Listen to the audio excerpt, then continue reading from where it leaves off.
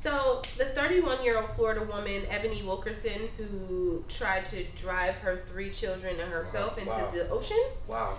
Um, Susan Smith again. Huh? yeah, so she told her kids, she told them to close their eyes and go to sleep. She was going to take them to a better place.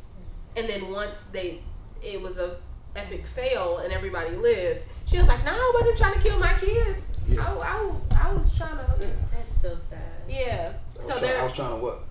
and she ain't say nothing. She was just like, I, uh, I wasn't trying to kill him. Yeah. You, Well, what did she drive off a bridge or something? It's what she drove into like the ocean. And then yeah. someone rescued. And then yeah, like people jumped in Those and rescued. poor children. They were screaming in the back. The article says that they were screaming and you know. Those poor children. I mean, the one person that you're supposed to be able to trust, right? Your mother. Yeah. yeah. She's And, supposed and to you, protect you, like, yeah, that's supposed to be the person that. Yeah. So when your mom says we're going somewhere or whatever, you believe that because Mm-hmm. that is the person that's supposed to protect you and, and you can trust her. And for that person to fail you in such a huge way, I feel sorry for them and Yeah. can't even imagine the type of therapy that they're gonna have to have. Right. Yeah. I mean, she was pregnant.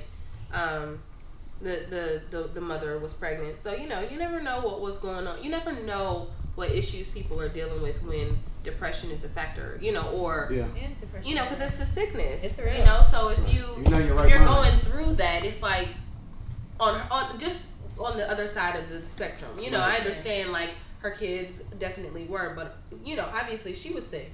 Yeah. In order Yeah. for you to want to say, okay, I want to kill all of us, and we're just jumping into you know. People hurting, like you said before. People hurting out here. you know, Absolutely. and, and, uh, it's, it's it's important when you see situations like that to you know, try to do something. Try to be some type of support. You know, Mhm. well, instead they of need just to take the children though. I And, mean, and yeah, the one no that she's doubt. Oh, for pregnant sure. with, and the one that she's pregnant with. For And she, sure. They're- they're in danger to- if they're around her, obviously. Be, Yeah. have she needs to be treated a lot. Yeah, I don't even think that jail is, you know, that's not. That's not gonna help. Excuse me, I don't No, think she has a mental issue. Yeah, she's a problem.